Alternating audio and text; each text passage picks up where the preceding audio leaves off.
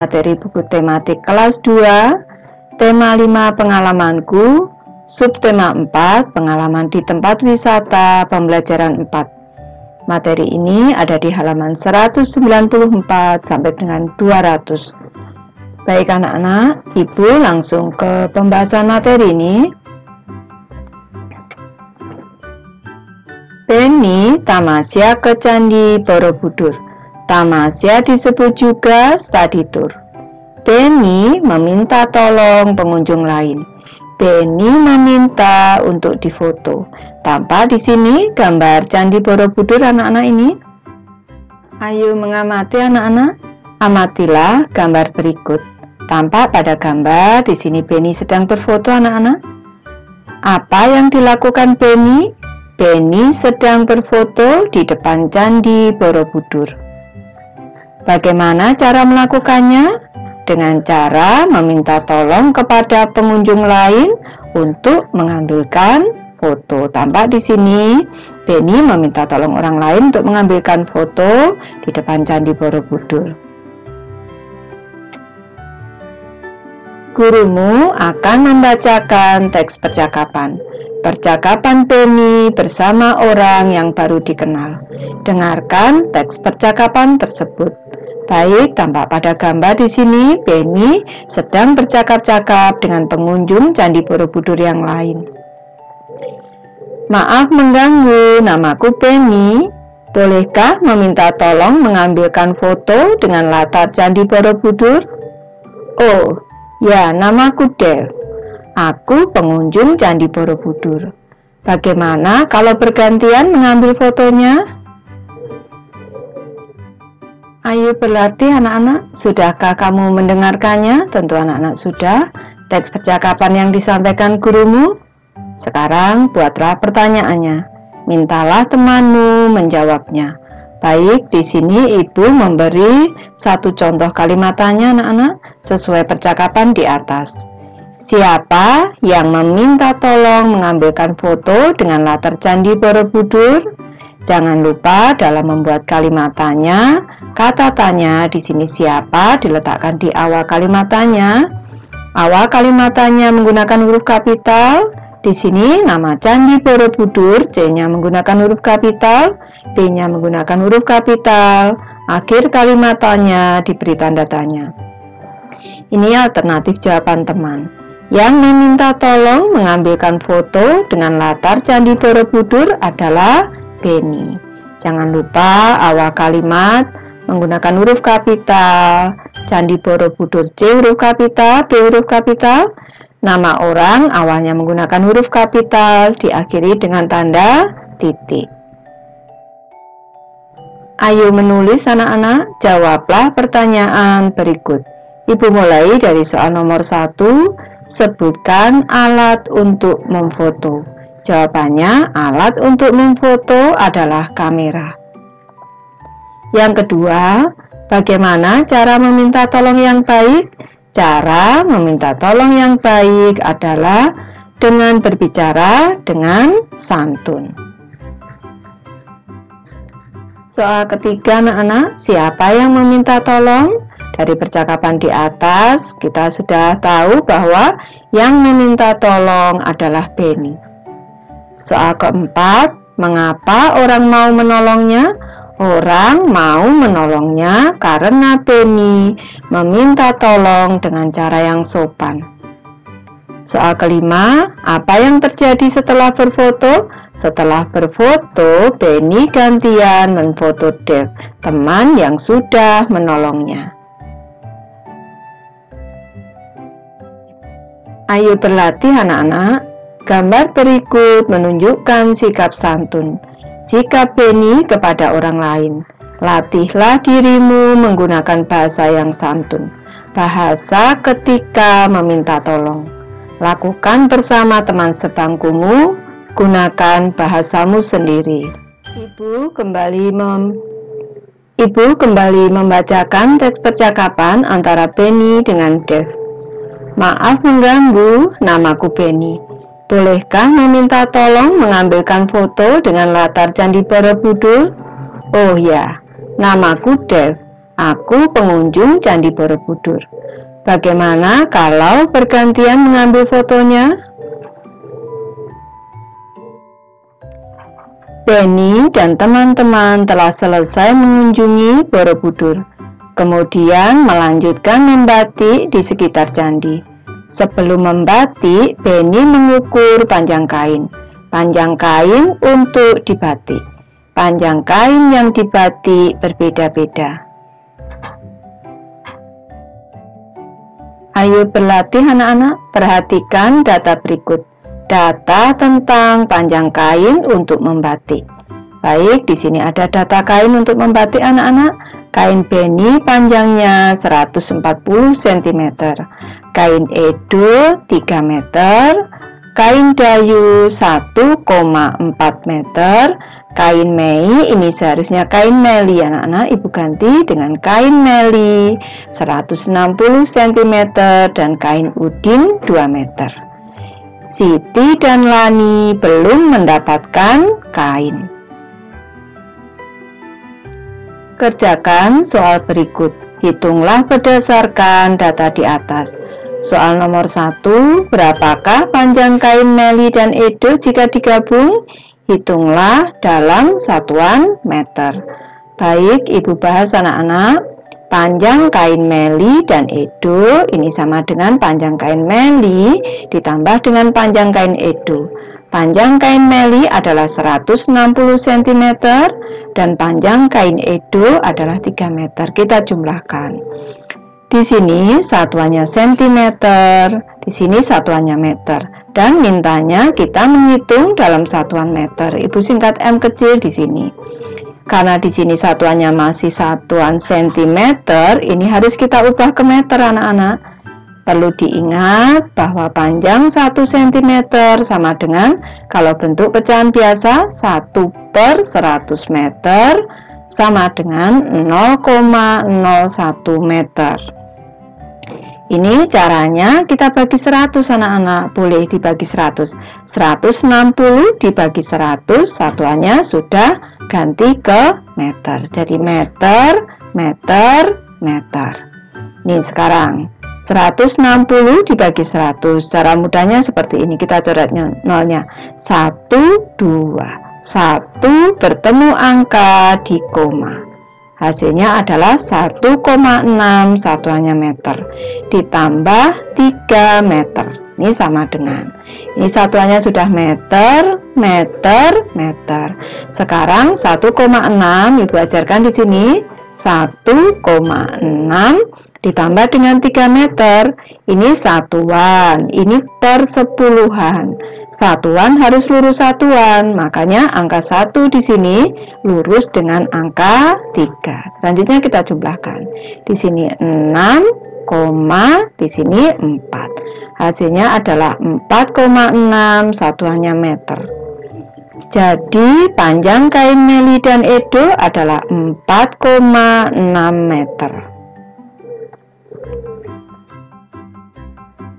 Soal nomor 2 anak-anak. Setengah kain beni diberikan kepada Siti. Berapa meter panjang kain beni dan dayu? Baik, di sini Ibu gambarkan terlebih dahulu agar mudah.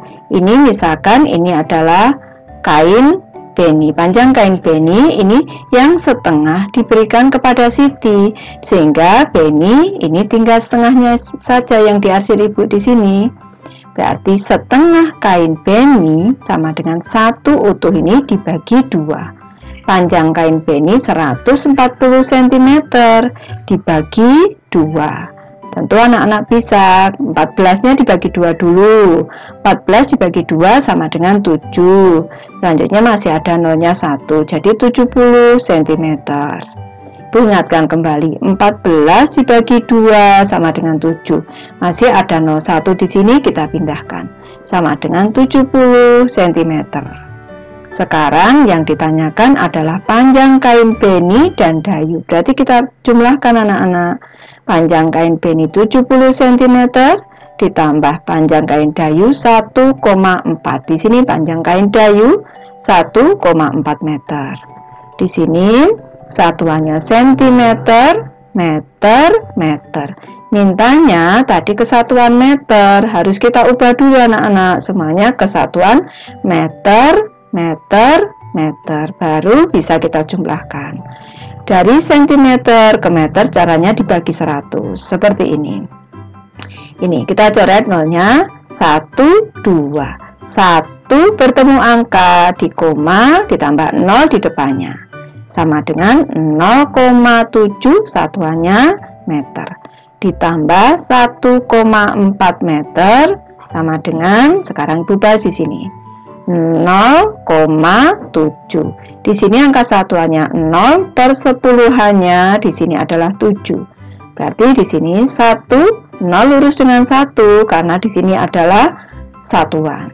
Koma 4 baru kita jumlahkan anak-anak di sini 7 ditambah 4, 11. 1 ditulis, 1 disimpan di atas mundur. 0 ditambah 1, 1 ditambah 1, 2. Tanda komanya kita luruskan. 2,1 sama dengan 2,1 satuannya meter. Jadi panjang kain Beni dan Dayu adalah 2,1 meter. Lanjut ke soal nomor 3 anak-anak. Setengah kain beni diberikan kepada Siti. Berapa sentimeter panjang kain Siti dan Udin?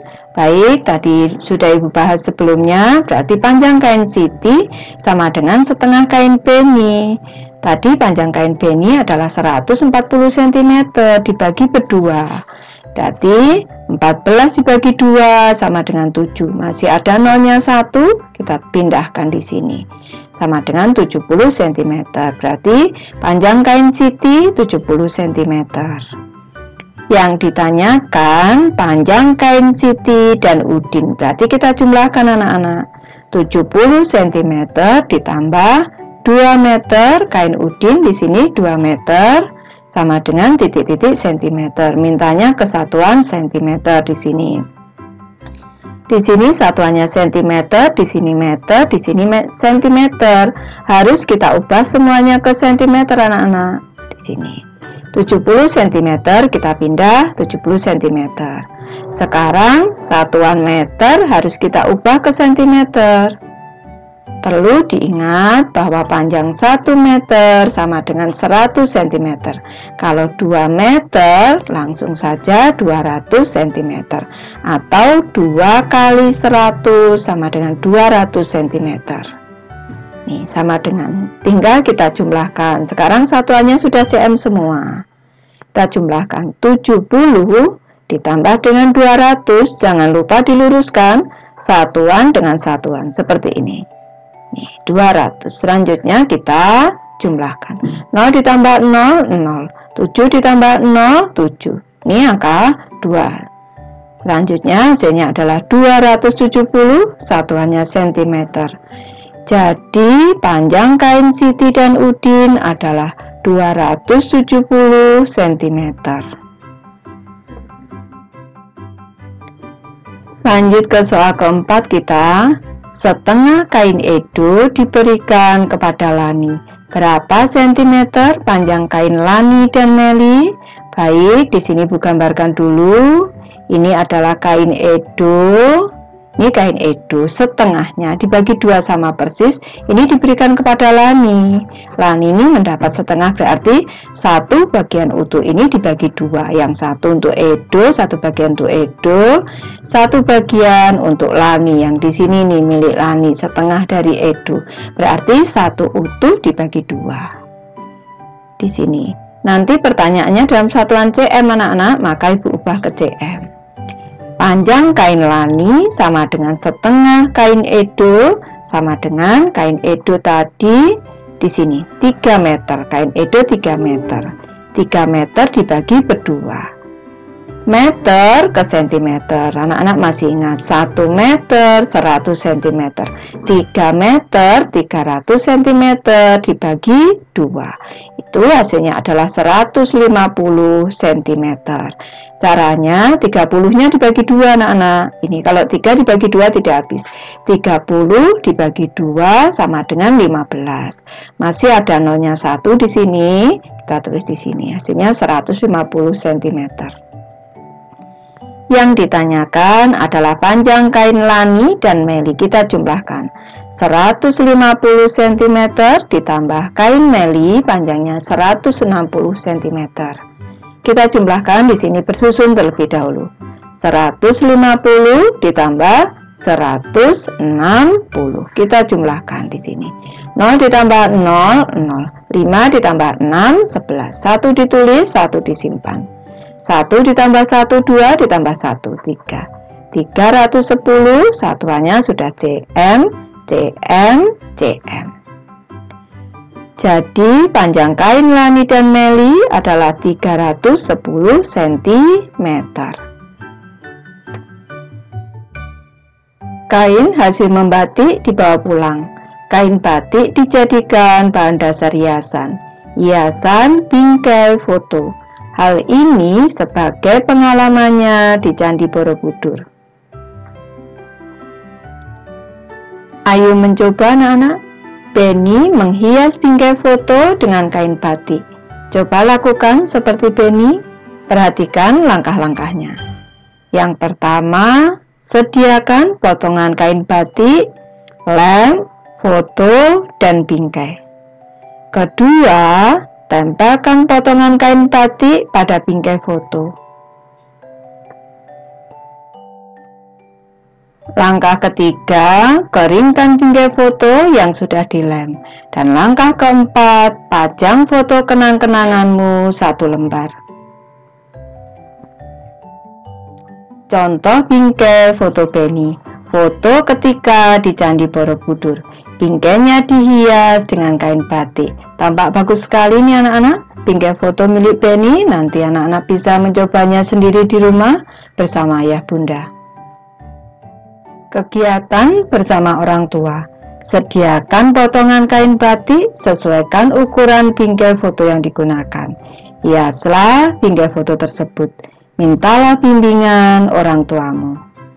Baik, Ibu sudah selesai membahas materi ini. Terima kasih anak-anak sudah menonton. Semoga ini bermanfaat membantu anak-anak belajar. Terima kasih.